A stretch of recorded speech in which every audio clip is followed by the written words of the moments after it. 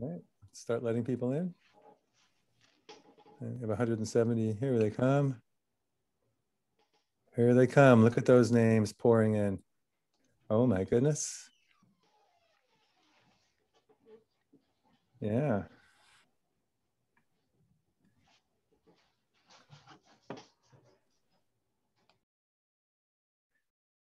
So I'll, I'll, introduce myself a couple of times. For those of you who are already in the room, it looks like there's at least 50 of you now. I'm Dr. Ted Barnett, the high-tech doctor with low-tech solutions.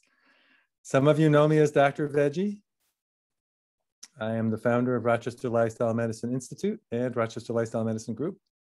We started back in 2015. And uh, let's see, how do we look? Looks like uh, we probably have most of the people in the room now.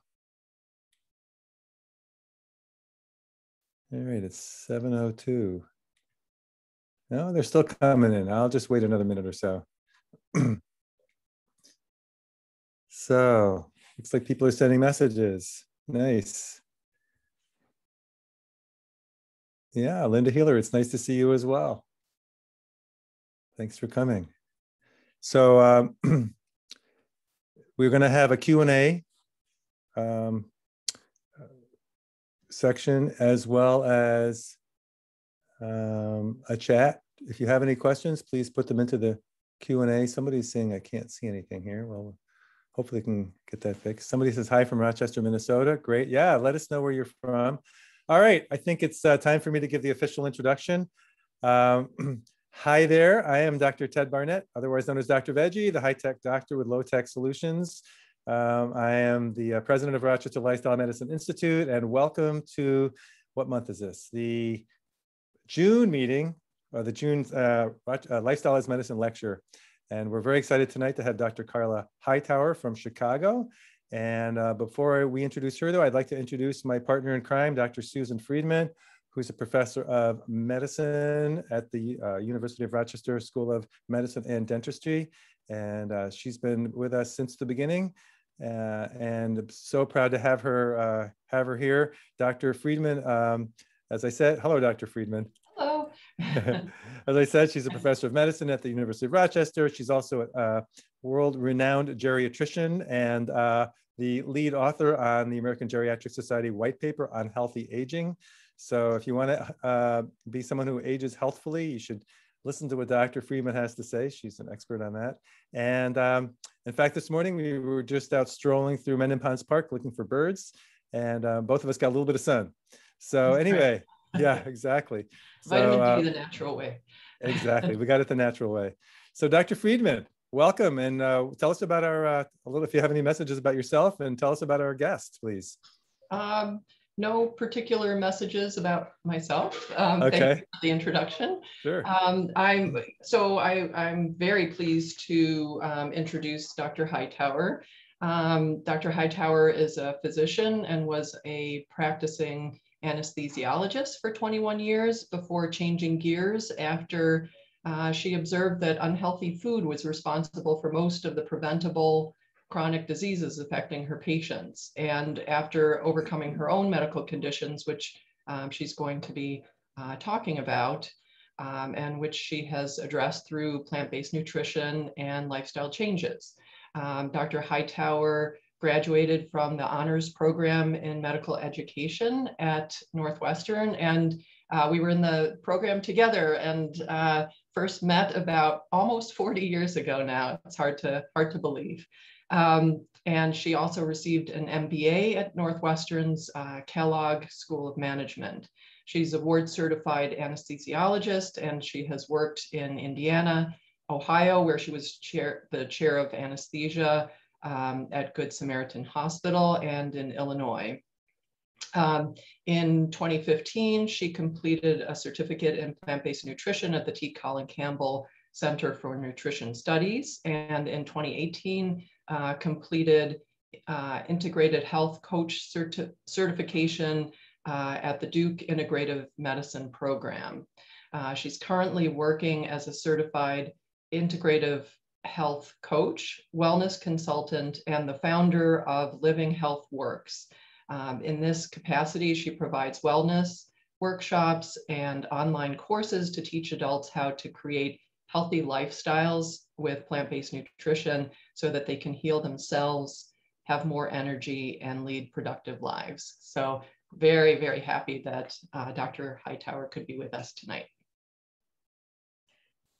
Thank you so much for that wonderful introduction. It's my honor to be here for this presentation, and I'm so happy about this topic to teach you tonight about food cravings. So let's get started. I'm going to share my screen. Great. And Dr. Friedman and I are going to disappear. So you're in good hands. You have Dr. Hightower taking care of you now. Excellent. Wonderful.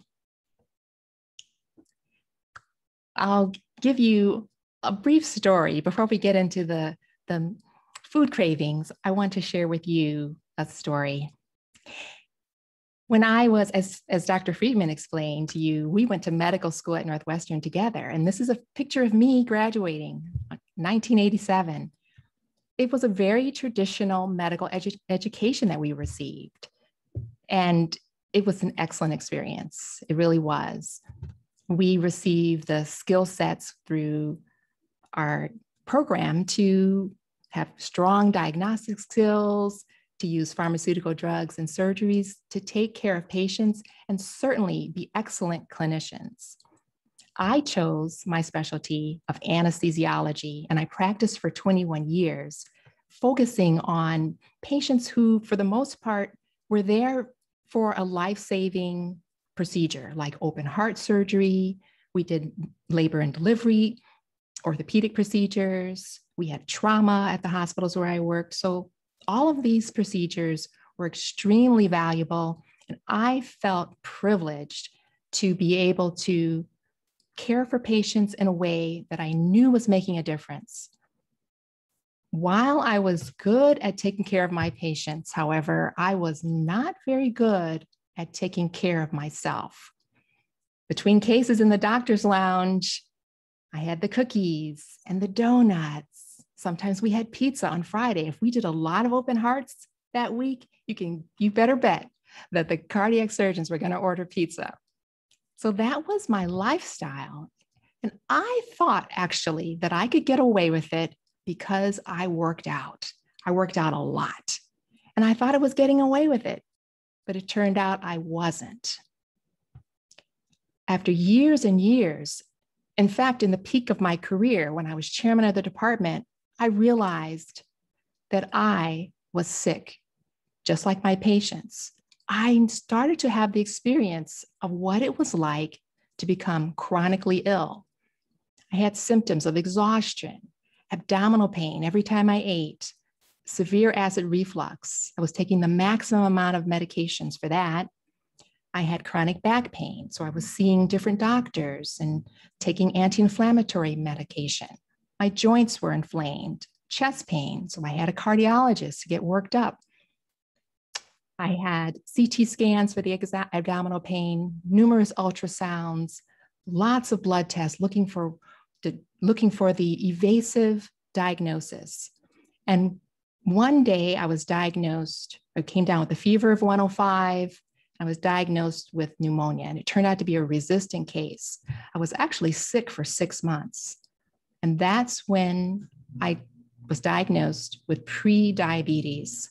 To be honest with you, these two things together, that became my red flag, my wake up call. Even though for years I had been sick, it took me actually getting pre-diabetes to wake me up and realized I needed to do something different. My daughter was only 12 years old. And I said, well, doggone, I am not going to go down like this because I'd seen the open heart patients and the patients receiving amputations. I was in the operating room with them and I knew diabetes is can be that that can that can can beat you. So I had to do something different. And that led me to the whole food plant-based diet, which for me it was truly life-changing to reverse all these symptoms.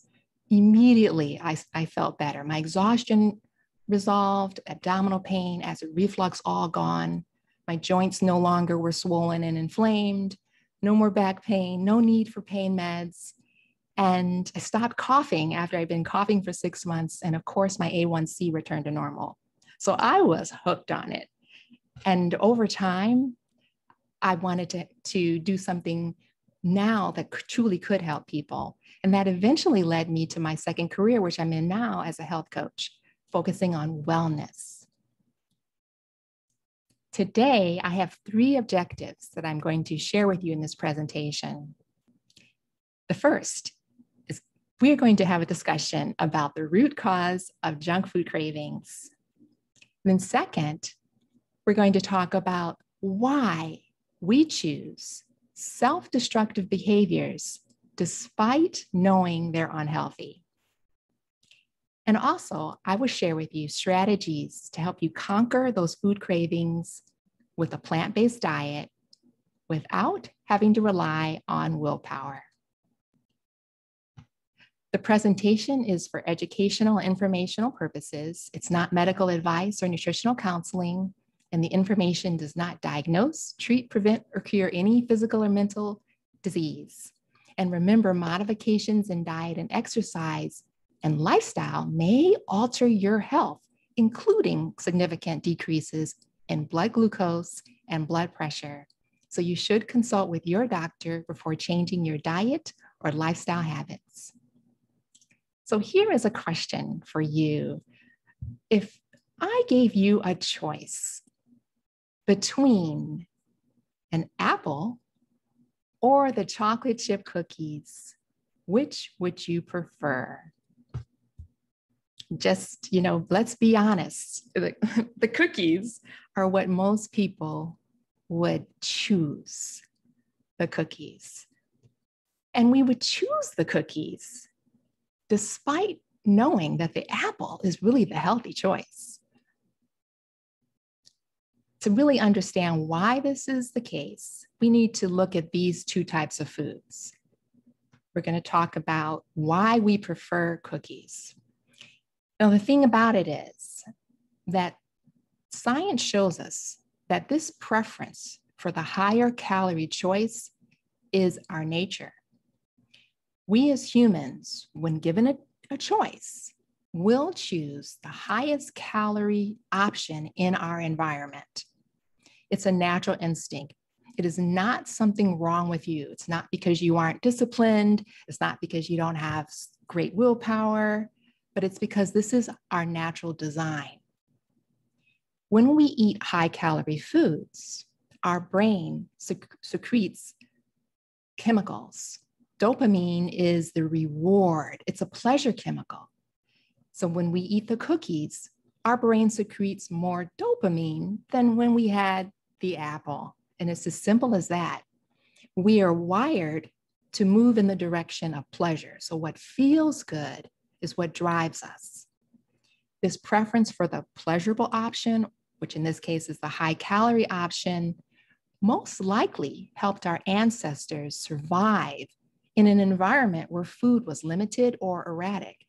So for them, it was a good thing. And I'm going to have, have a discussion now to break down more of the differences between that apple, the whole food, versus the cookies, the junk food. Let's take the apple first. So we're going to do a deep dive into the characteristics of apples, whole foods, whole, whole plant-based foods in general. Number one is that a, the whole plant-based foods are packed with fiber, water, and nutrients. We have, we have the volume in an apple even though, and it's low calorie, but it's, it's packed with vitamins, minerals, antioxidants. These are naturally low calorie foods and they're naturally low in fat for the most part. There's some exceptions like nuts and avocados and seeds, but for the most part, we're talking about low fat, low calorie foods. What happens when we're eating these whole plant based foods is that we don't have to count calories it's rare to have a craving for apples. But that you won't find very many people, except for some rare exceptions, who have true food cravings when we're talking about plant-based options like these in this image here. And this is good because our brain is able to naturally gauge when we've had enough. We don't have to count points. We don't have to deprive ourselves or really control the portions. It just is part of our nature. However, the junk food is completely the opposite. And here are the characteristics of the junk food. And this explains why we crave the processed junk foods. Processed junk foods are artificial foods where the ingredients are very concentrated.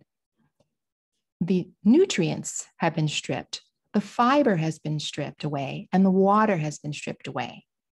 So, in other words, the food is shrunk. And then we add sugar, oil, and salt. These are three key ingredients that make processed junk food addictive sugar, oil, and salt. So remember those because sugar, oil, and salt are not found in combination together in nature. This is a, a man made artificial concept. And it makes these foods exceedingly pleasurable and therefore addictive.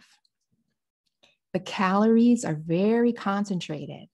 So you can have more calories and more flavor per bite, but not feel full. Now we have really the deadly combination because these are addictive and they're unsatisfying. And our brain has no ability to gauge when we've had enough. So we continue to eat and to want more and more. In a natural environment, animals, creatures, or even if we lived in a natural environment, we would be dependent on whole natural foods that we that were available in that natural setting. And in that case, the the natural drive that we have to seek pleasure would work out very well.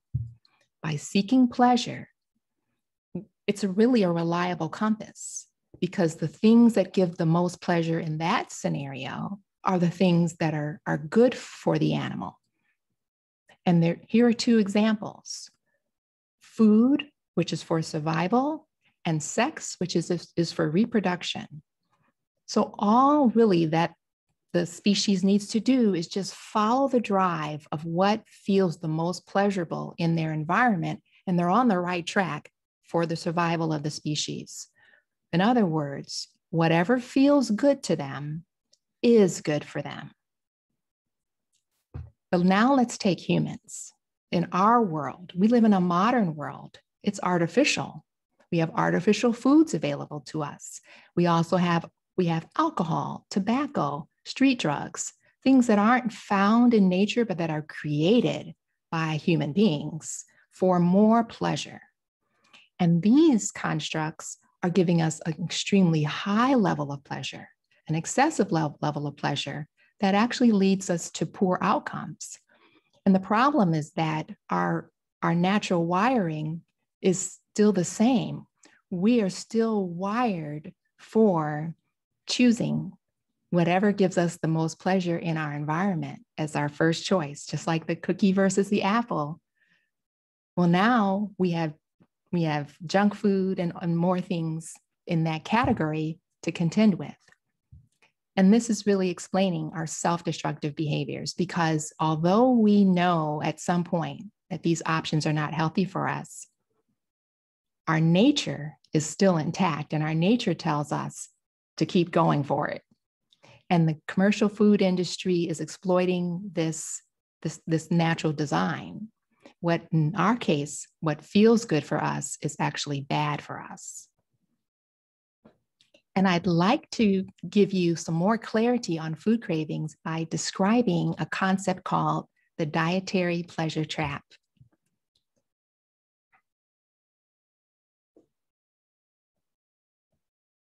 Okay, so what I'm going to show you here is a concept, the dietary pleasure trap, which comes from doctors Lisle and Goldhamer. They wrote about this in their book in 2003 called The Pleasure Trap. And this is taken from their research. Now, just to give you some clarity, I'm going to explain that the x axis here, these are the foods that an individual, a human being, can eat. We have a healthy, whole, natural plant food, and then we've got junk food. And along the y axis, we have pleasure. So just imagine right here, and we, we have low, normal, and high for the pleasure as we move up. So let's talk about phase one. I'm going to walk you through five phases. The first one is phase one. So just imagine that you have, let's say, a young, a young toddler whose parents have been conscientious about giving them plant-based foods their whole life. And they've, they've never seen a cupcake they've never seen the cookies, but they, they are eating their natural foods. And many times, and I certainly know in my case, my, my daughter had carrots and peas when she was when she was first eating at nine months old, and her diet was so healthy. And it was just something you do as a parent, right?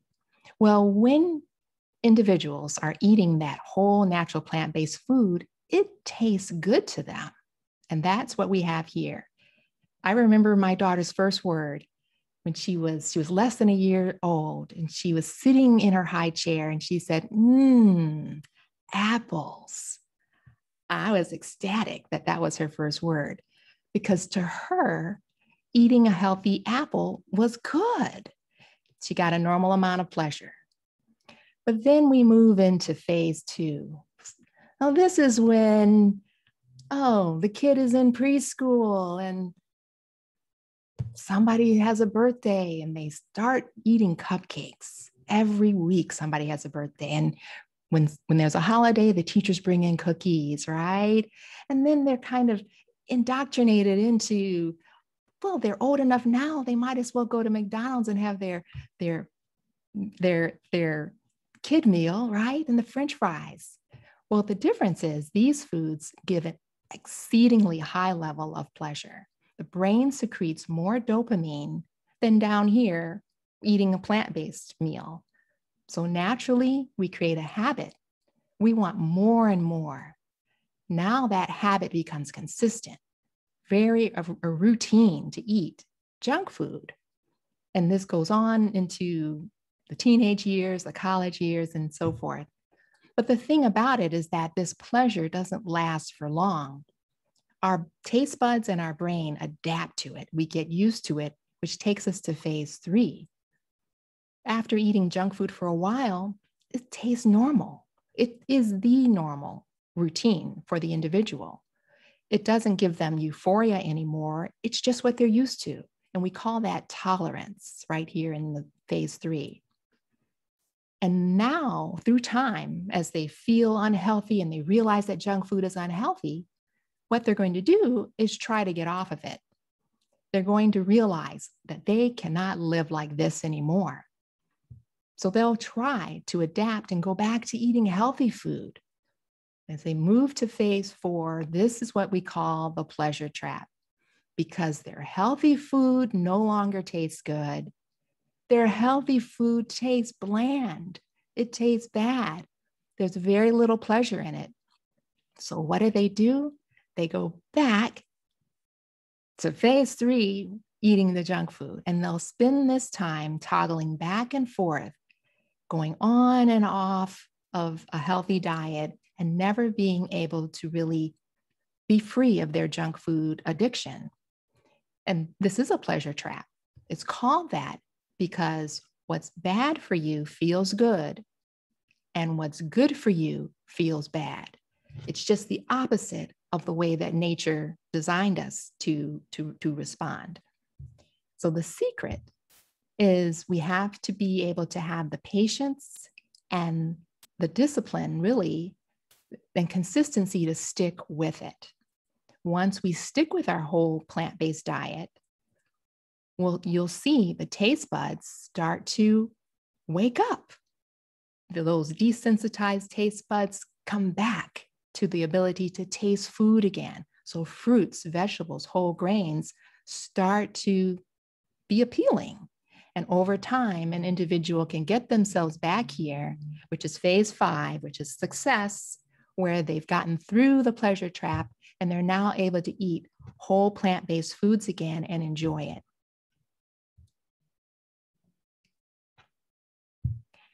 I'd also like to share with you these two concepts of distinguishing physical hunger versus food cravings. These are very different. Let's take physical hunger first. Physical hunger is a natural response when you haven't had food for a while. It can feel like discomfort in the stomach or even an actual pain, and it comes on gradually and slowly.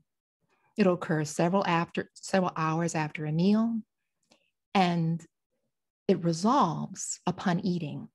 So upon eating a meal, the individual is going to feel satisfied and this physical hunger will, will dissipate and go away. The trigger for it is not eating, having an empty stomach. On the other hand, food cravings are very different.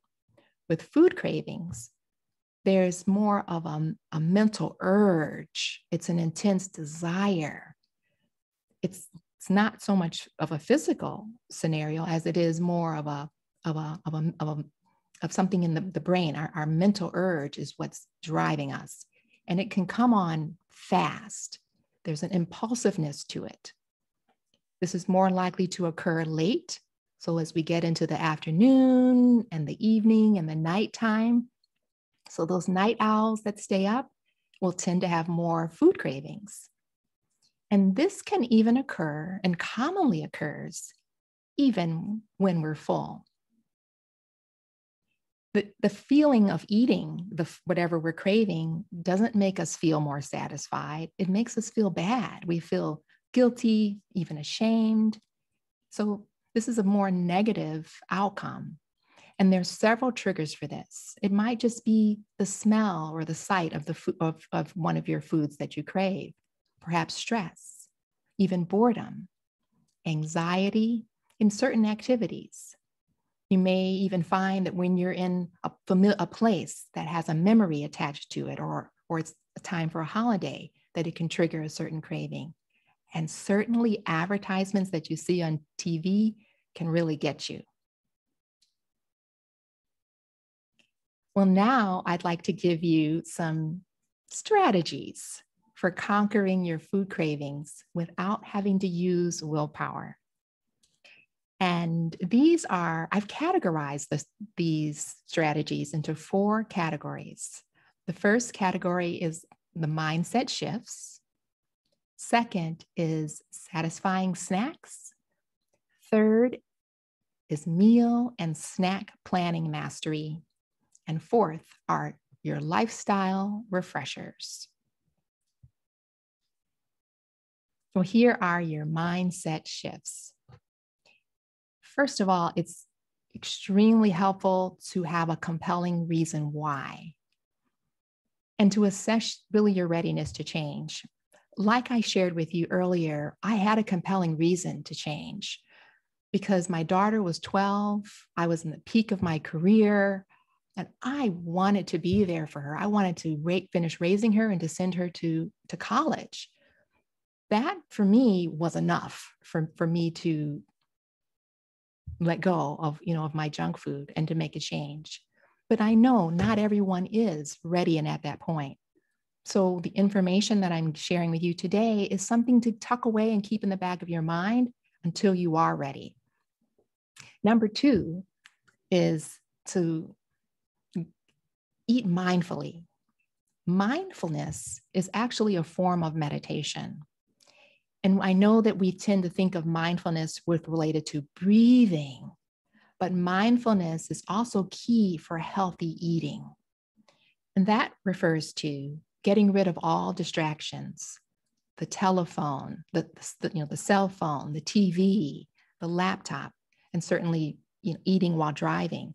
These are all distractions that, that can impair our ability to really gauge when we've had enough to eat because we're not focusing on the eating, we're just eating mindlessly.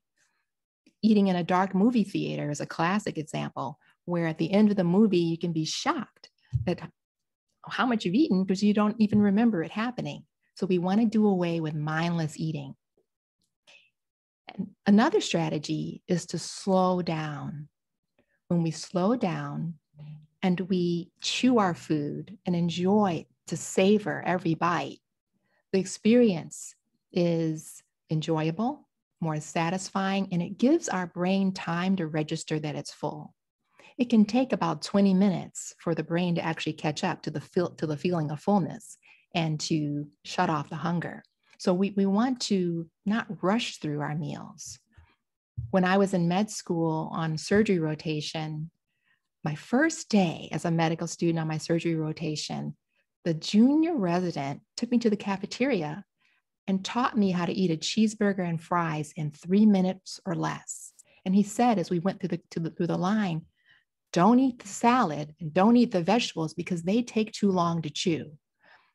And at the time, it kind of made sense what we were doing because we knew the nurse was going to page us to go to the ER and we might be holding retractors for six hours. So we, we felt compelled to try to learn to eat lunch for three in three minutes. But now we know that doesn't help you for long. You're going to pay for it in the end. And I also encourage with your mindset shifts to not do this alone, to find a support, supportive person, a supportive group, a community that's all moving in the same direction so that you you actually um, it's easier. It's easier than being alone. The next category of strategies is to have yourself a strategy for satisfying snacks when you need them. First of all, the truth is that when you think about eating or snacking on something, you might not always be hungry. Sometimes thirst is masquerading as hunger. It's a good idea to first just make sure you're well hydrated. Drink some water. Let's settle in. That might be all you need. The next thing, number two here on this list, is to avoid trying to eat everything in moderation. But seriously, this one is one you really want to pay attention to because the concept of eating everything in moderation has led many people astray. Eating in moderation takes a tremendous amount of willpower, and it's only a matter of time before the system breaks down and you you you binge on that thing that you've been trying to avoid. It's just like when I was explaining to you the pleasure trap of moving between those phases. You never can get through that valley of phase four when you keep sliding back to having little bits of junk food. And it's so difficult to eat one potato chip. It is so hard to have one little square of chocolate and stop. So the best thing to do is to get it out of your system. In order to do that, we're on point number three here is let's get the junk food out of our house. Get it out of sight so it's out of mind. You'd be surprised at how much easier it is to focus on other things when you don't see that in your environment. This is a problem in workplaces. If in your workplace there's a bowl of candy out on the main desk or like it was for me in my in the anesthesia office we had a platter of chocolate chip cookies that was out we had actually two platters of cookies that were out from 7 a.m and it was in our contract for the hospital to replace those cookies on demand so they were always in sight and between cases we were eating them like they were going out of style also i would recommend preparing some whole food plant based snacks in advance. Instead of having cookies out, have a bowl of strawberries out. Wouldn't that be nice? Something that you can grab easily and conveniently that's going to be good for you and, and won't trigger a craving. The next thing is meal and snack planning mastery.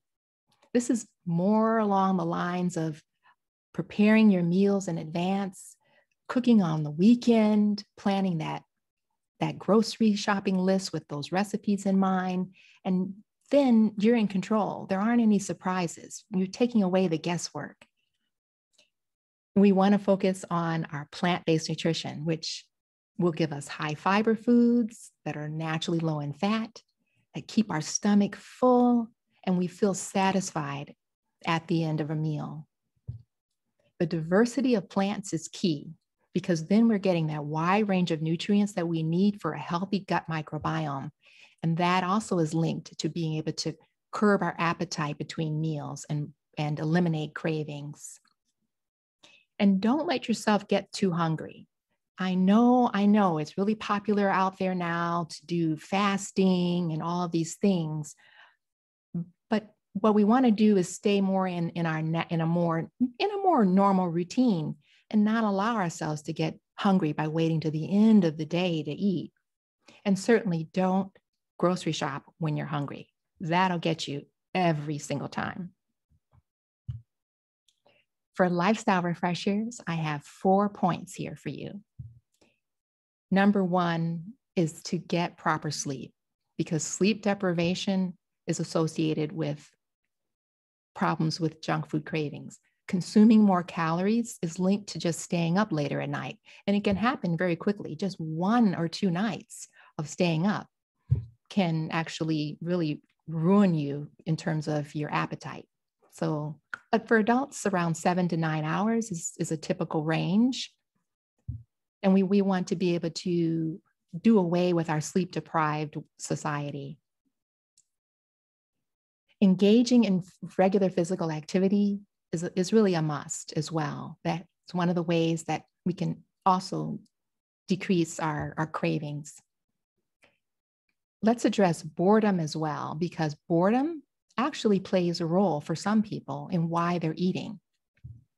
Instead of eating because we're bored, we need some stimulating activities that are, are healthy and, and keep us um, you know, moving forward. And of course, managing stress. Stress is a very important factor and can actually unmask some of the cravings that have been suppressed.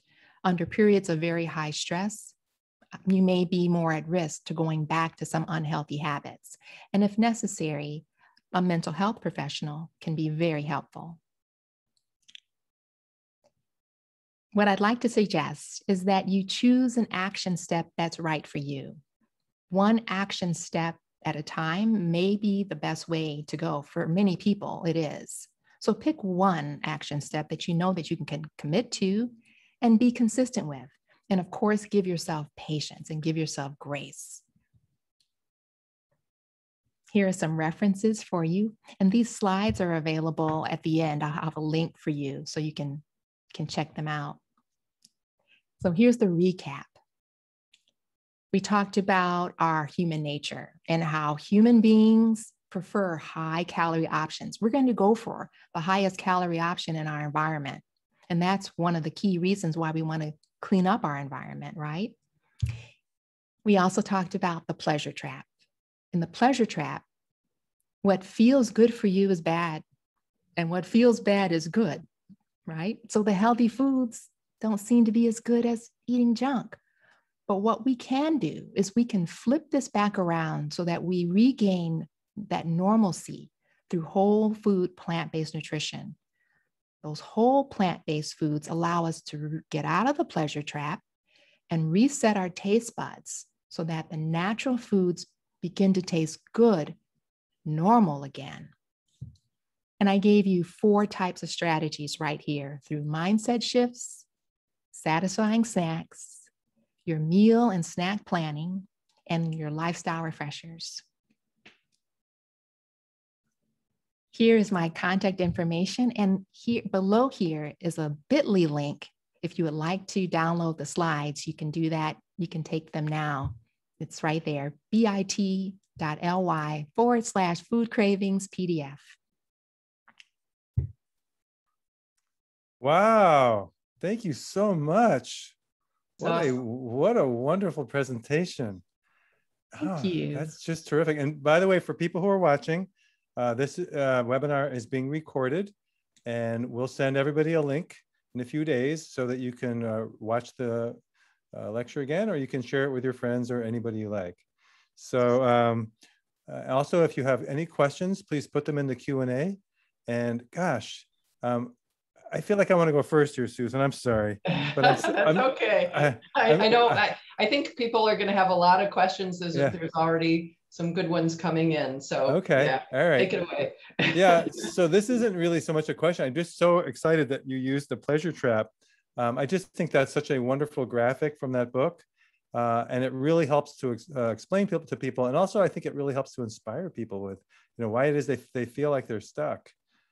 So uh, yeah, actually that kind of leads into that first question. Susan, did you want to read that first question or? So um, yeah, I, I, think you've um, you've answered the first part of it, but um, it was if there is dopamine depletion due to food, sex, or other addictions, uh, what foods under the pl plant-based umbrella make most sense to rebalance this? And um, how long does it take uh, for the neurotransmitters to kind of rebalance once once you've made a shift in, in what you eat? That's really great. Well, the foods, when we talk about whole food plant-based nutrition, the key categories that we want to, to have a full balance of nutrients are we're talking about leafy greens, colorful vegetables, colorful fruits, whole grains, starches like sweet potatoes, and then of course legumes, beans, lentils, peas. So that is that kind of gives you a picture of a balanced whole food plant-based nutrition meal. And um, so those are the types of foods. And they're high in fiber, they are chock full of nutrients and full of even water. Therefore, it's easy to feel easier to feel satisfied because they really do fill you up on very few calories. And um, you asked how long the process takes, how long to get like through the pleasure trap when you decide you're going to do it. Well, that actually is going to vary from person to person. It might take somebody a couple weeks. It might take someone a couple months. So each person is going to be a little unique. It's not going to take years. So this is very different than an addiction to drugs. And so if someone is addicted to heroin, let's say, that could take a lifetime really i mean it could take years to to to be able to not have the urges and cravings this is not like that at all this is really relatively short compared to something of you know those other types of addiction. So that's the good news. Mm-hmm. just to follow on to that so we're talking about uh, uh, phase four in the pleasure trap right? Yeah. Uh, and so you're saying that if you're stuck there because of food it can you can get out of there more quickly than if you're stuck there because because of drugs or alcohol i guess. So yeah. that, that whole the whole sense of feeling normal. That's right. The alcohol alcohol and street and street drugs that is a much more difficult it's a much more difficult process and mm-hmm. it can mm-hmm. take literally like years for those cravings so this is when you think when you compare to that this is pretty quick actually yeah wow mm-hmm. exciting so um, someone asked, how soon can I overcome addictions? I guess to addictions to cheese, meats, and sugars. Which ones soonest and which ones are typically the most difficult to overcome? Well, cheese is a big one. Mm-hmm. Definitely, there is more of that. You actually have, um, you actually have the the response to it is extremely extremely pleasurable. It's it's it's a true comfort food that people when people refer to something as a comfort food. And um, this is something that's so concentrated as well. And the food industry is is focusing on that. That's why more and more cheese is, has been added to products over the past few decades. Mm. Sugar as well is, of course, as we know, chocolate. But there are certain categories like chips. Chips are highly addictive cookies and all of these processed grains. Mm-hmm. Um, so definitely those are, are, are, top foods for, for the addiction. Mm-hmm. Susan, what's next? Uh, next one. Um, can you talk a little bit about what happens when our taste buds shift? Um, and is it different in men and women, young children, older adults? Um, is, is there is there a difference? I don't know if there's a difference between men and women or older adults, but I do know that it is um, when when our taste buds shift, you actually are taking nerve endings that have been dormant or overstimulated and mm-hmm. desensitized and just allowing them to become to function normally again we are not designed to be able to handle a lot of overstimulation. So, because certain foods were overstimulating, like incredibly sweet or incredibly salty foods, or ice cream, for instance, that's beyond the level of pleasure that we're that we normally experience, that firing is going, the reaction is to let's tamp down this overstimulation just by desensitizing those nerve endings. So they aren't dead on the tongue and the brain, but it's just that um, it's a protective mechanism to shut things down a little bit. And once we stop having these highly stimulating foods, we regain the sensitivity. Smokers also, when they stop smoking, they can suddenly they can taste again. And um, so, so the, the, the taste buds do, they still have life. yeah, great. Wow, the Q&A section is lighting up here. Yeah. Dr. Dr. Hightower, um, now I'm quoting someone here. This was wonderful. Thank you, exclamation point. My question, I eat a healthy, whole food, plant-based lifestyle. If I go off that one time and have a junk food, what can I do or say to myself to get back on track? Oh, well, I love this question. Well, first of all, mm. give yourself grace. That's the main thing is to know you're amazing. You're doing a great job. What, what you've done so far, hats off to you. And yes, you're human. So just decide to yourself, say to yourself, I'm an amazing person. Don't, don't, don't, don't be down. Don't get down on yourself. Tomorrow's a new day. When the sun comes up, we just start over. That's really what I suggest. Um, mm-hmm. And oftentimes, what's hard is for people who are high achievers, and you sound like a high achiever high achieving people want to be excellent and feel down on themselves when they're not perfect. And so sometimes they'll decide to do not to, to just say, well, forget about it. If I can't be perfect, I'm not going to do it at all. And, and they, they go really deep into the junk food for like maybe another months or years because mm-hmm. because they feel so down on themselves. So give yourself grace. You're going to be all right. Hmm. Nice. Um, Dr. Friedman, what's next? Next, next question. How do you recommend dealing with excess, excess gas when you consume a whole food plant-based diet? I can't wait to hear your answer on this. yes, yes. There are certain foods where it helps to go slowly with if you're not used to eating them. Some people who, who are not used to eating beans, for instance, need to take it a little slow. A couple tablespoons, make sure those are tolerated, and then just build up from there. I noticed that sometimes um, people aren't, aren't used to eating greens with a lot of fiber and they have to take it a little bit slow. And when you do, your gut microbiome has a chance to, to evolve and change and adapt to the, that new quantity of fiber that you're introducing and these new nutrients. And as you shift, then generally after two or three weeks, the gut is able to handle fiber better and the gas will dissipate. And beans can be soaked. And sometimes I, I found that lentils are easier to start with because they don't seem to produce as much gas.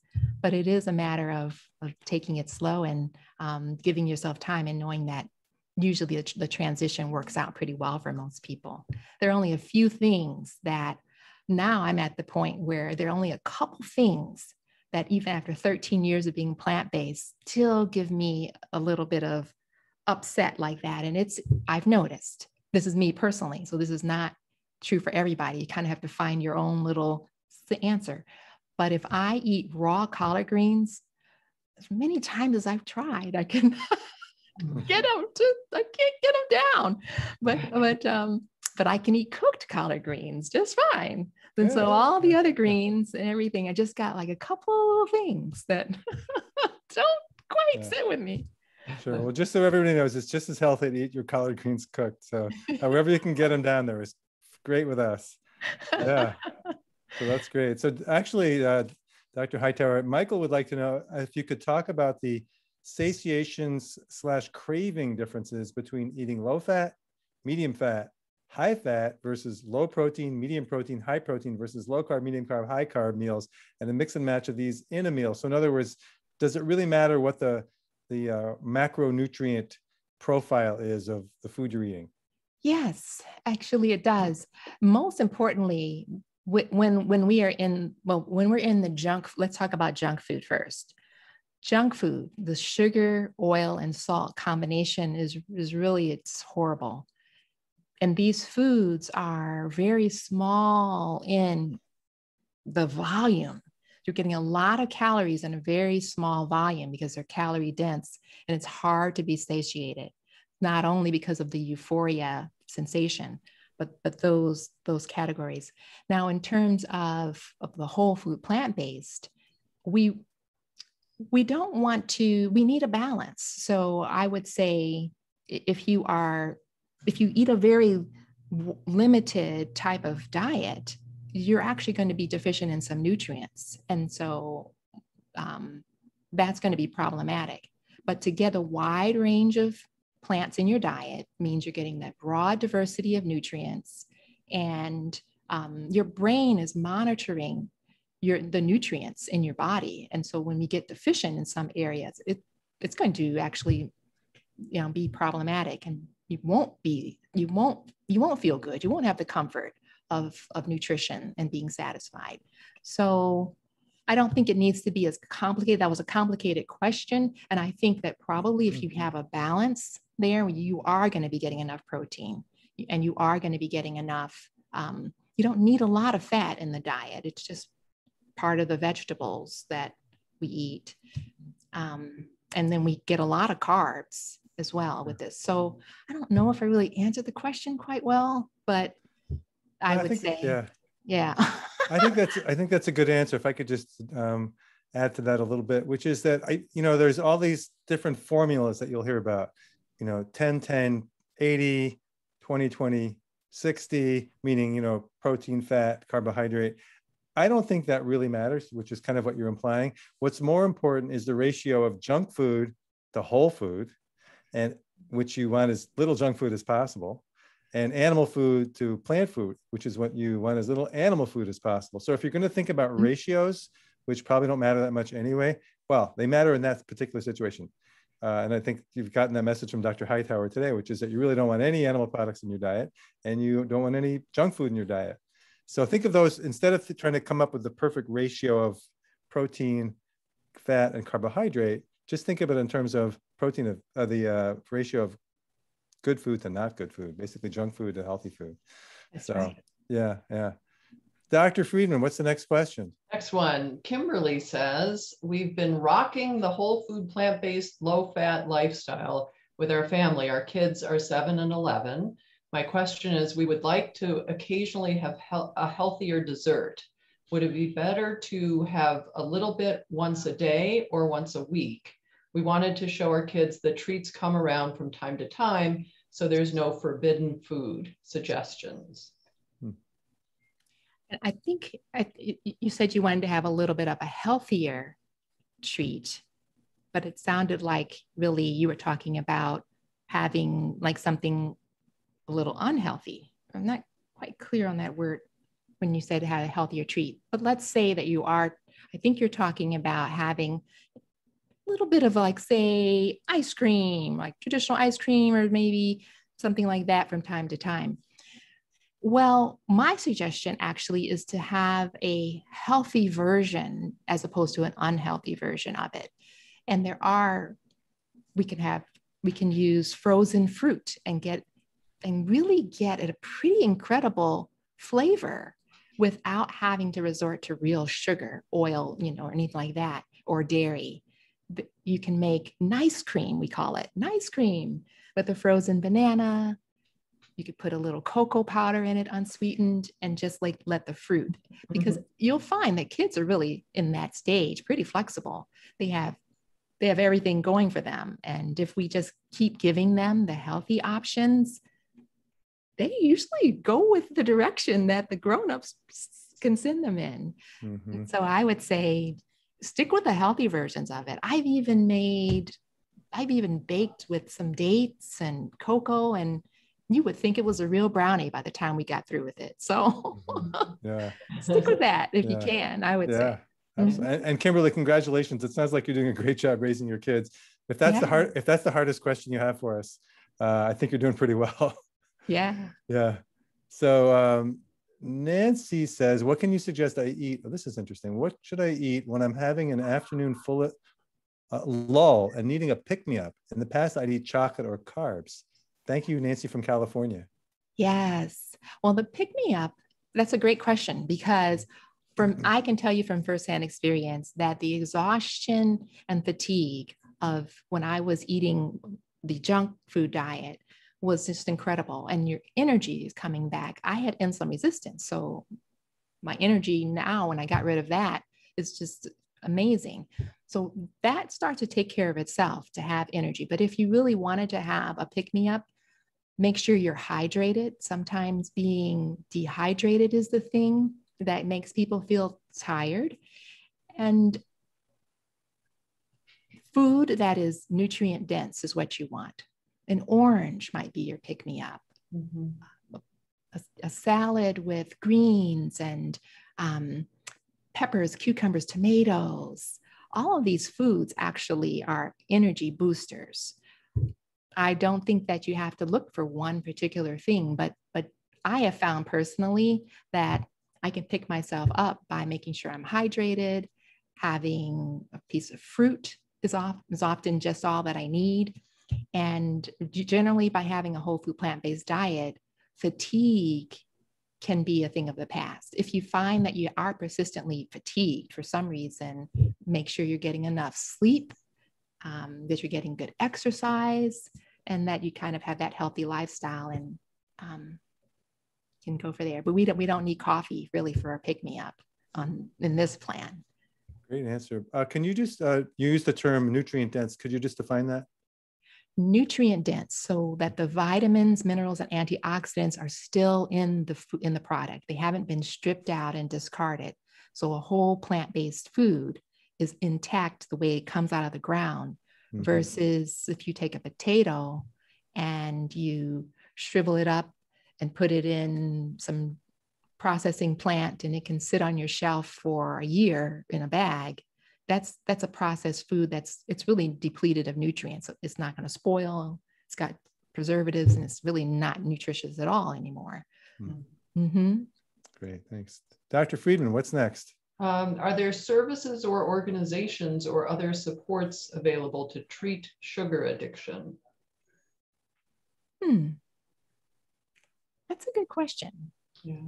I don't know the answer to that. I do know that when there is a true, there are levels of addiction, um, and there are experts in in psychiatry and psychology for for things that fall into um, for if it's a mental illness, a psychiatric condition, then there are experts in that because there are some cases that fall in in that category. But what we really focus on right now is um, is the impact of of food that's just hijacking our natural instincts, our natural design. So you're here, really, in here in Rochester. You have your Rochester Lifestyle Medicine. Um, I would say those are the the institutes that you can definitely go to, and certainly if you feel like you have um, something that doesn't seem to be just responding, make you know make sure that you are speaking to your to your one-on-one doctor if you feel like you need to go to a higher Mhm. level of care. Well, Dr. Hightower, thank you so much for that plug for our, what we do here. Now, these people are uh, these people are not just from Rochester because we have uh, viewers from all over the country, fortunately, but also we're available all over the country. So uh, I'd like to make a little shameless plug for our 15-day whole food plant-based jumpstart. So Becca, if you're interested, that is a really wonderful way to uh, to get those addictions under control. And uh, you know, we tell people, look, you're a grown-up, you can do anything for two weeks, and just stick with it. Uh, we're there to support you. And uh, we run these jump starts every month. If you go to our website, rochesterlifestylemedicine.org, you can uh, find our calendar and sign up for the next the next jump start. So um, this is really wonderful. It looks like we're going over time a little bit. Is that okay, Dr. Hightower? Absolutely. Mhm. Okay, great. All right. Dr. Friedman. Oh, I guess you just asked the last one. I can Uh, answer. Yeah, go ahead. Go for more. okay. Um, uh, the question I've heard some people say not to go off a certain food or food group cold turkey in order to prevent a rebound effect neurologically or physically. But there are speakers I've heard that have advocated burning the boat, so to speak, and making the healthier food choices without looking back. What are your thoughts on that? I am definitely a proponent of burning the boat because this is this is different than this is not like withdrawing from heroin, right? It's not like withdrawing from alcohol, which can be detrimental for some people in that case, where if they try to just go cold turkey, they can have a life threatening reaction in withdrawal. And here, what I have found is that gradually decreasing is very difficult because you have to be using your willpower the whole time. And if you if you think about it, it's it's it's that you it takes a longer time to go through the pleasure trap when you do it in those little increments. Like instead of having eight cookies a day, I'm gonna just have six. Well, and then I'll do that for a while, and then I'll just have four, and then I'll have two. It's, it's really difficult because me, I know, I'm just going to just go ahead and eat the whole box. So what I would say is, it works out to be more challenging. Let's say when we are in the moderation phase of trying to eat a little bit of moderation, it's actually more of a struggle because you you're employing willpower at maximum, and that there's just a limit to that. Great. So we're going to go until 8.05. So we have two more minutes. Um, this is from Dr. Scott McCrae. How about some suggestions for the 4 p.m. snacks at work? Are there any good natural food bars? So what about that 4 p.m. snack? Mm, the 4 p.m. snack, snack, definitely plan ahead.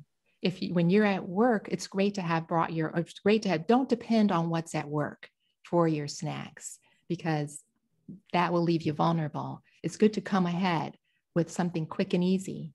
Mm-hmm. Apples, clementines, strawberries are great. Some, and if you need to, you could have, I like to have a little wrap. I've done veggie wraps. They're small, mm-hmm. they're easy. You can eat them with um, you know veggies in there, a little hummus, something that's that's quick, but that is also very satisfying and won't trigger a craving. Those are the kinds of things I think are great it's great to think that way when you travel and when you're at work, things that go mm-hmm. well on an airplane. So, so it's great to practice with that. What satisfies you without having to, to resort to depending on what might be laying out in the break room. Mm-hmm. Mm-hmm. And of course, hydration is important with water. So that question included, are there any good natural food bars? Oh, yes. Are there any good natural food bars? I actually have found a brand, Lara, Lara mm-hmm. bars that are very simple.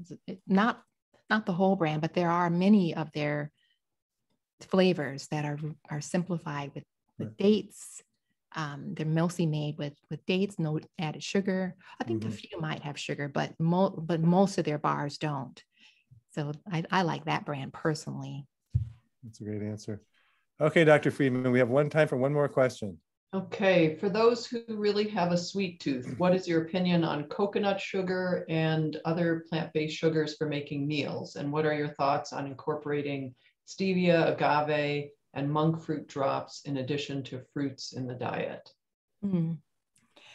Well, unfortunately, the food industry has shifted toward making certain things sound like they're healthier than than they really are and that's what's happening with these alter with these sh- sh- natural sounding sugars. There are but in our body they're still processed. We're still getting a highly refined product even though it comes from a plant.